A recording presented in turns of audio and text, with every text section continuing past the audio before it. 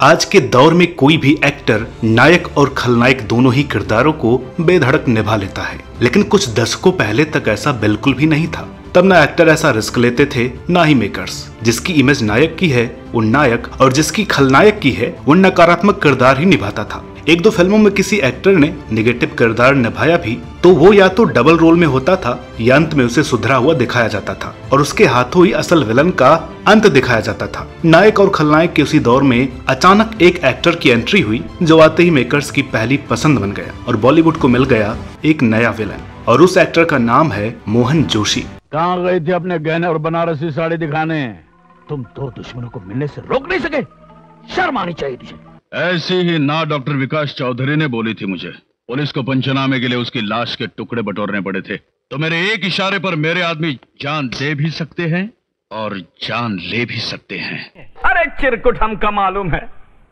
अरे हमरे लिए तो एसीपी और थानेदार बराबर ही है ना। लगभग दो दशकों तक हिंदी फ़िल्मों में बतौर विलन अपनी धाक जमाए रखने वाले मोहन जोशी ने अचानक हिंदी फ़िल्मों से दूरी बना ली। इसके पीछे क्या वजह है और आजकल क्या कर रहे हैं मोहन जोशी? जानेंगे आज के इस वीडियो में। साथ ही साथ जानेंगे उनकी लाइफ और करियर से जुड़ी कुछ खास बातों के बारे में। इसलिए बने रहे हमारे साथ वीडियो में शुरू से अंत तक। बॉलीवुड के सबसे मशहूर खलनायकों में से एक मोहन जोशी फ़िल्म टीवी और रंगमंच के एक मशहूर अभिनेता होने के साथ साथ अखिल भारतीय मराठी नाट्य परिषद के अध्यक्ष भी रह चुके हैं। भोला बाबा की कृपा से सब ठीक हो जाएगा। आप चिंता मत कीजिए। आरती लीजिए एसपी साहब। भोला बाबा का मंदिर में फ़र्स्ट टाइम आए हैं आप। आज महाशिवरात्रि है। श्रद्धा से जो मांगेंगे वो मिलेगा। मेरा नाम है पोते जो अपने बाप के भी नहीं होते।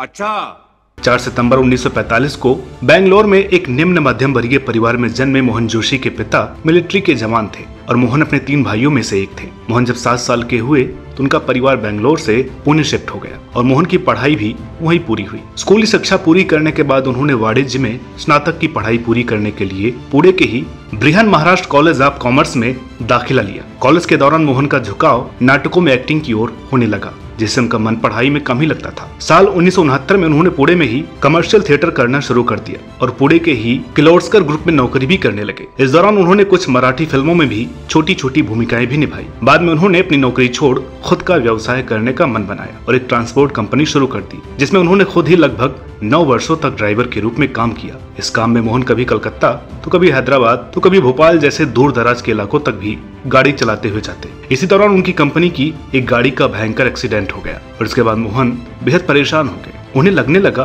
कि ये काम बहुत ही जोखिम भरा है, इसलिए उन्होंने इस व्यवसाय को पूरी तरह से बंद कर दिया। ट्रांसपोर्ट कंपनी बंद करने के बाद मोहन ने एक्टिंग की फ़ील्ड में ही अपना करियर बनाने का निश्चय कर लिया। उसी दौरान साल उन्नीस सौ सतासी में उन्हें एक नाटक में काम करने के लिए मुंबई से बुलावा आ गया। बस फिर क्या था, मोहन मुंबई पहुँच गए और थिएटर में काम करने के साथ साथ टीवी और फ़िल्मों में काम भी ढूँढने लगे। नब्बे के दशक की शुरुआत तक आते आते थोड़े संघर्षों के बाद मोहन जोशी को सब टीवी के एक सीरियल धनंजय डिटेक्टिव में काम मिल ही गया। जहाँ अधिकारी ब्रदर्स के गौतम अधिकारी और मार्कंडे अधिकारी की नज़र उन पर पड़ी और उन्होंने मोहन को अपनी आगामी हिंदी फ़िल्म भूकंप में काम करने का ऑफ़र दिया। मज़े की बात कि उन्हें पहले यह कहा गया था कि इस फ़िल्म में उन्हें एक छोटी सी भूमिका दी जाएगी। मोहन जोशी के न कहने का सवाल ही नहीं था, क्योंकि शुरुआत में रोल छोटा हो या बड़ा, सब करना ही था। लेकिन जब यह फ़िल्म शुरू हुई तो पता चला कि मोहन इस फ़िल्म के मेन विलन होंगे। इस फ़िल्म में मोहन गैंगस्टर दया पाटिल के रूप में नज़र आए। इस किरदार को मोहन ने इतनी खूबसूरती से निभाया कि इसके बाद विलेंस के रोल्स के लिए ही उनके सामने फ़िल्मों की लाइन लग गई। उसी साल मोहन ने एक मराठी फ़िल्म भी की, जिसका नाम था स्वत माझी लड़की। बॉलीवुड में मोहन जोशी हिट तो हो गए, लेकिन उनके किरदार एक जैसे ही रहते थे। जैसा कि उस दौरान चलन था कि जिसकी जो इमेज बन गई है, उसे वैसे ही रोल ऑफ़र होते। मोहन बताते हैं कि शुरुआत में उन्होंने धर्मेंद्र स्टार फ़िल्म पुलिस वाला गुंडा में एक बेहतरीन भूमिका मिली थी। जिसमें उनके किरदार में कई सारे शेड्स थे। लेकिन वह फ़िल्म विवादों में पड़ जाने से उसकी रिलीज़ में देरी हो गई और तब तक उनकी इमेज मेन विलन के तौर पर बन चुकी थी। फ़िल्मों की बात करें तो मोहन जोशी ने 350 से अधिक हिंदी फ़िल्मों में अभिनय किया है और अधिकांश फ़िल्मों में उन्होंने एक खलनायक का किरदार निभाया है, जिनमें गद्दार, जागृति, ऐलान, हकीकत, मृत्युदंड, इश्क, आक्रोश, सलाखें, यशवंत, होगी प्यार की जीत भिक्षु, वास्तव, हसीना मान जाएगी। बागवान, गर्व गंगा जल और मिस्टर प्राइम मिनिस्टर जैसे ढेरों नाम शामिल हैं। उनके खास हिंदी फ़िल्मों की बात की जाए तो मृत्युदंड के अलावा प्रकाश झा द्वारा बनाई फ़िल्म गंगा जल का नाम भी ज़रूर लिया जाता है, जिसमें उन्होंने साधु यादव की भूमिका निभाई थी और इसके लिए उन्हें कई पुरस्कारों से भी सम्मानित किया जा चुका है। दोस्तों, मोहन जोशी हिंदी फ़िल्मों का जाना माना चेहरा होने के बावजूद अचानक नज़र आना बंद हो गए और हिंदी फ़िल्मों से एक दूरी बनाते दिखे। बॉलीवुड में काम न करने को लेकर मोहन कहते हैं कि मैंने हिंदी फ़िल्मों में काम करना बंद कर दिया है। बॉलीवुड आज रिश्तेदारों से भरा हुआ है और बहुत से नौसिखिए हिंदी फ़िल्मों में अभिनय कर रहे हैं। बहुत सारे ग्रुप और खेमे हैं जहाँ मेरे जैसे अभिनेताओं के लिए कोई जगह नहीं है। जो किसी समूह से संबंधित नहीं है। इसके अलावा इन दिनों नायक भी खलनायक की भूमिका निभाता है, इसलिए हमारे पास कोई काम नहीं है। हालाँकि मोहन जोशी पहले से हिंदी के साथ साथ मराठी फ़िल्मों और सीरियल में सक्रिय थे और उन्होंने वहाँ काम करना जारी रखा है। उन्होंने सत्तर से अधिक मराठी फ़िल्मों में काम किया है, जिनमें राव साहेब, सबक मजी लद्दाखी तुम थे माई, घरबेर, न केवल मिसेज राउत, देवल बैंड, मूली पैटर्न और सदाशिव आदि प्रमुख हैं। दर्शकों माफ़ कीजिएगा, मेरी मराठी थोड़ी कमज़ोर है और अगर मैंने किसी फ़िल्म के नाम का उच्चारण गलत किया है तो इसे माफ़ कीजिएगा। फ़िल्म राव साहब के लिए मोहन जोशी को ढेरों पुरस्कार भी मिले थे। इसके अलावा ये कई गुजराती, तमिल, तेलुगु और कन्नड़ सहित भोजपुरी फ़िल्मों में भी काम कर चुके हैं। भोजपुरी फ़िल्मों में काम करने को लेकर मोहन जोशी ने कहा था कि मैंने कई भोजपुरी फ़िल्मों में अभिनय किया है। मुझे यह भाषा बहुत प्यारी लगती है और भोजपुरी फ़िल्मों में काम करने में आनंद मिलता है।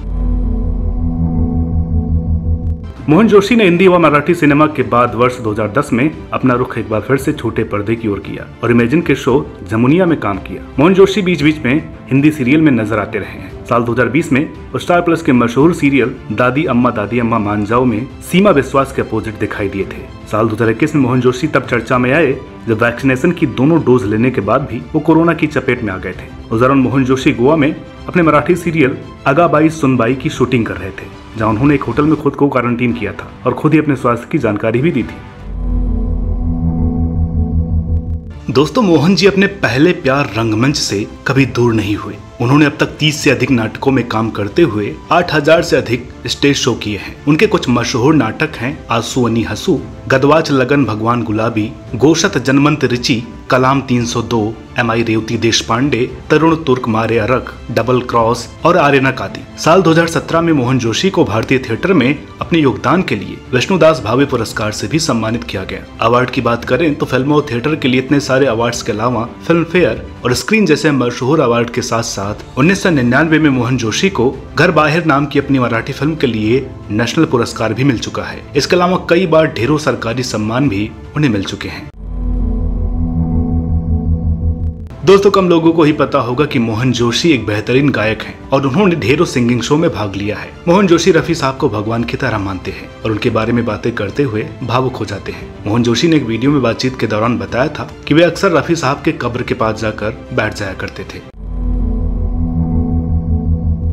जैसा कि हमने शुरुआत में ही बताया था कि मोहन जोशी एक अभिनेता के साथ साथ अखिल भारतीय मराठी नाट्य परिषद के अध्यक्ष भी रह चुके हैं। मीडिया रिपोर्ट्स के मुताबिक, उसी दौरान साल 2013 में मोहन जोशी और अभिनेता चेतन दलवी के नशे में धुत हालत में नासिक के स्थानीय लोगों से मारपीट की खबर आई। इसके अगले ही दिन मोहन जोशी ने अखिल भारतीय नाट्य परिषद के अध्यक्ष पद से इस्तीफा दे दिया। हालाँकि बाद में उन्हें फिर से अध्यक्ष बनाया गया था। मोहन जोशी के निजी जीवन के बारे में बहुत अधिक जानकारियाँ उपलब्ध नहीं है, और न ही वे इंटरव्यू वगैरह में इस बारे में अधिक बात ही करते हैं। मोहन जोशी जी की पत्नी का नाम ज्योति जोशी है, और दोनों के एक बेटे हैं रोहन जोशी। तो दर्शकों, उम्मीद करते हैं कि आपको हमारा आज का ये वीडियो पसंद आया होगा। वीडियो अगर अच्छी लगी हो तो प्लीज़ इसे लाइक करें, शेयर करें, और चैनल पर नए हो तो प्लीज़ इसे सब्सक्राइब ज़रूर करें। मिलते हैं आपसे अगली वीडियो में एक और नई कहानी के साथ, तब तक के लिए नमस्कार।